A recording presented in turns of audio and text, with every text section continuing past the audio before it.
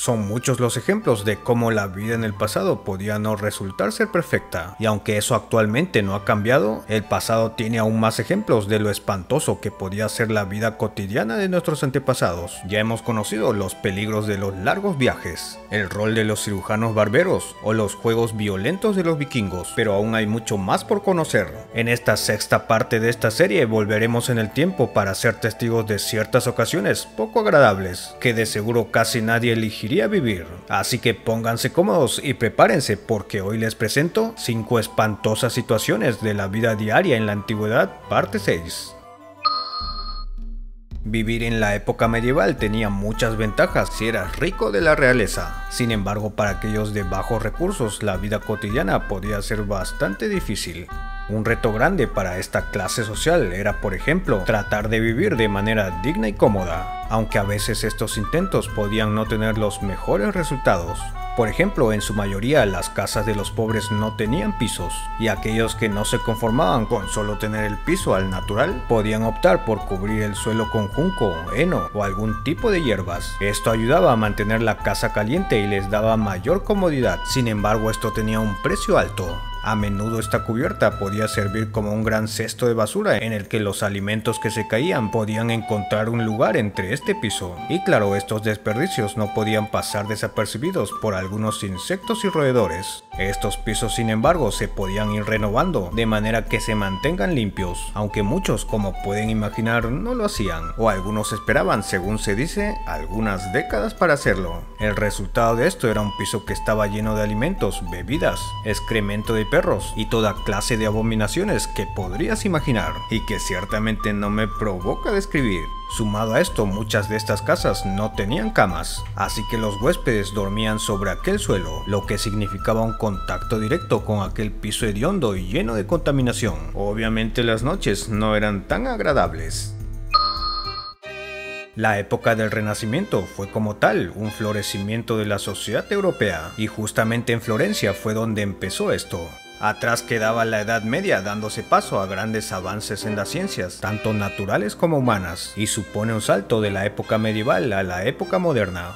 Sin embargo, la imagen de una ciudad sofisticada y sus habitantes elegantes e impecables podía verse opacada por una terrible plaga. Hablo de la sífilis. Al dar un recorrido por las calles, uno fácilmente podía encontrar algún mendigo que terminó siendo víctima de esta enfermedad.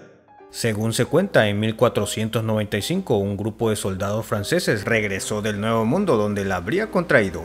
Un huésped indeseable que resultaba aterrador, ya que los síntomas se manifestaban a través de llagas en todo el cuerpo, y en un caso extremo era realmente impactante a la vista. Aquellos que contraían esta enfermedad al no encontrar hospitales ni hogares que los recibieran, se quedaban literalmente en la calle. Por otro lado, el miedo a esta enfermedad estaba siempre latente, y se han registrado cientos de relatos y grabados que reflejan ese terrible miedo a infectarse. Aquel pánico parecía inundar toda Europa, y los casos de personas que sufrían esta enfermedad se podían ver a cada paso, a veces conformando una especie de paisaje apocalíptico. Ya conocemos que en la antigua Roma las personas después de hacer sus necesidades solían limpiarse con una esponja amarrada en un palo, pero hay ejemplos similares en otras culturas, desde hojas de lechuga, mazorcas de maíz o corteza de coco, además de otros ejemplos similares, algo que no resulta sorprendente ya que la invención del papel higiénico como tal llegaría en tiempos modernos. La antigua Grecia en este caso tendría tal vez métodos menos amigables. Verán, a menudo los griegos solían tener cerca de sus baños una buena cantidad de piedras para justamente limpiarse a modo de papel higiénico. Se recomendaba al menos tres piedras para quedar completamente limpio y de no tener a la mano estas piedras podían también usar un trozo de cerámica. La sensación aparentemente no habría sido nada agradable, al menos si la comparamos con una suave lechuga. Como sea, algunos solían aprovechar esto para grabar en una pieza de cerámica el nombre de sus enemigos, para luego romperla y limpiarse con ella. En fin, me pregunto si tendrían el mismo éxito en la actualidad los papeles higiénicos impresos con nombres a pedido. La vida cotidiana en la antigua China podía ser una constante lucha contra el olor corporal, ya que este era un signo de barbarie. Las mujeres, por ejemplo, podían optar por caminar con bolsas aromáticas atadas a la cintura y si alguien estaba en presencia del emperador debía chupar clavos de olor para el mal aliento. Y bueno, había toda una serie de medidas destinadas a reducir o ocultar los olores. Sin embargo, aquellos que no tenían muchos recursos recurrían a opciones menos agradables. Por ejemplo, lavarse las axilas con orina al menos una vez al año pero el problema de la higiene podía representar aún más retos si se pasaba por un frío invierno. Esto por supuesto tendría algunas consecuencias bastante indeseadas. Estos hábitos de limpieza fueron insuficientes a tal punto que las fuentes indicaban que los casos de personas llenas de piojos eran muy comunes. Sin embargo, estos pequeños insectos, a pesar de todo, podían ser tratados de diferentes maneras. Verán, algunos médicos los usaban para hacer diagnósticos. Por ejemplo, si al colocar un piojo sobre un paciente, este comenzaba a recorrer todo su cuerpo, podía interpretarse como que el paciente sobreviviría. Por otro lado, si este escapaba de su cuerpo, entonces definitivamente el paciente moriría. Pero si hay algo más escabroso sobre esto es la manera en que muchos los combatían. Según las fuentes, muchos ciudadanos pobres estaban tan acostumbrados a los piojos que podían pasar muchas horas sacándolas uno por uno y comiéndolas. Este terrible hábito se volvió tan común que solía convertirse en algo compulsivo. De hecho, se crearon algunos remedios a base de agua hervida, ceniza y otros elementos para ayudar de alguna manera a expulsar estos insectos del estómago. En definitiva, una situación incómoda y muy desagradable. Muchos hábitos durante la Edad Media llevaron a problemas grandes de contaminación que a la larga causaron graves problemas de salud. Por ejemplo, una práctica habitual entre los carniceros era usar el río Támesis como una manera perfecta para deshacerse de la carne y desperdicios que solían juntar durante sus jornadas de trabajo. Obviamente la peor parte la llevaba el río, ya que no solo era unos dos o tres carniceros, sino una gran cantidad. El resultado era un lugar con un olor repugnante y un río que arrastraba restos de partes podridas de animales y donde incluso se le solía llamar al puente donde arrojaban estos desperdicios como el puente del carnicero. La cantidad de entrañas y restos era tal que se depositaban en el río con ayuda de un carro usado por los carniceros. Ya se imaginarán un río que tenía un color rojizo y lleno de inmundicia. Esta práctica habría llegado a tal extremo que en 1369 se proclamaría una ley para prohibirla. Sin embargo, muchos carniceros se resistían a acatar esta ley, ya que decían que en verdad nadie se quejaba, por lo que muchos seguían haciéndolo.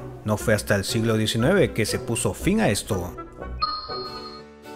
Una situación espantosa que tenían que soportar muchas personas en la antigüedad, quieran o no, eran los caprichos de sus gobernantes, los cuales tenían en la palma de la mano a sus súbditos, por lo que cualquier decisión debía ser acatada sin mayores preguntas. Algunos, como el faraón Pepi II, se les ocurría una petición cada vez más extraña que otra, claro está, basado en sus caprichos, y teniendo en cuenta que apenas era un niño cuando se convirtió en rey, este tenía prioridades un tanto diferentes a las de guiar a su pueblo con sabiduría. Bueno, el joven gobernante básicamente tenía todo lo que pedía mientras iba creciendo, y eso aparentemente no cambió con el paso de los años. Por aquellos días, en algunas ocasiones, todos tenían que lidiar a diario con las moscas, una situación desagradable que el faraón no podía soportar, así que no se le ocurrió mejor manera de apartarlas que mandar a sus esclavos a cubrirse completamente de miel para que las moscas se sientan atraídas a ellos y lo dejen en paz. Una situación humillante y desagradable para sus esclavos y una situación que debían de soportar diariamente. Y bueno, tenemos una larga lista de gobernantes de este tipo a los que bien podríamos dedicar un video completo.